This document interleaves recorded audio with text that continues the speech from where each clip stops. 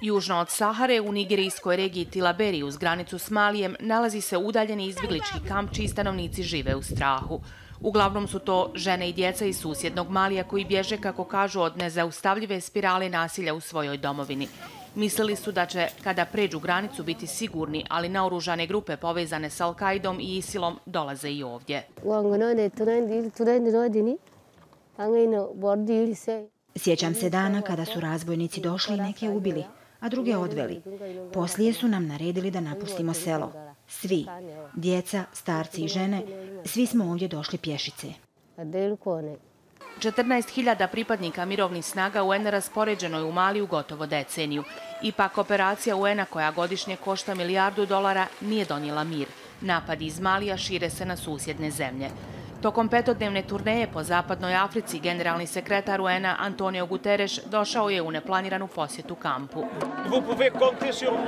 Možete računati na mene da ću od međunarodne zajednice tražiti snažniju podršku vojsci Nigera kako bi imala kapacitet bolje vas zaštititi. Većina prisutnih i ne zna ko je on. Začuđeno gledaju kako sadi drvo manga u pjesak. Kiše nije bilo gotovo godinu dana. Pored naoružanih grupa koje nastoje kontrolisati izvor vode i klimatske promjene također potiču sukobe.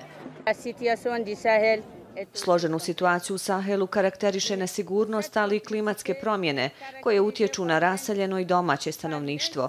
Zbog ovih razloga molimo vas, gospodine generalni sekretaru, da naša situacija i dalje bude jedan od vaših prioriteta. Guterres se ranije u Senegalu sastao s predsjedavajućim Afričke unije Makijem Salom. Cijene hrane i goriva u Africi rastu. UN procjenjuje da bi do kraja godine kao rezultat rata u Ukrajini 250 miliona ljudi moglo završiti u ekstremnom siromaštvu. Iako nije putovao u Mali, situacija u toj zemlji visoko je na dnevnom redu. Vojna hunta koči napore da se uprava vrati civilnoj vlasti. Grupe za ljudska prava optužuju vojnike Malija kao i nedavno raspoređene ruske borce povezane s grupom Wagner za mučenje i masakre nad civilima. UN-u postaje sve teže ispuniti svoj mandat i zaštititi državljane Malija koji u sve većem broju bježe iz ove zemlje. Amina Gvozden, Al Jazeera.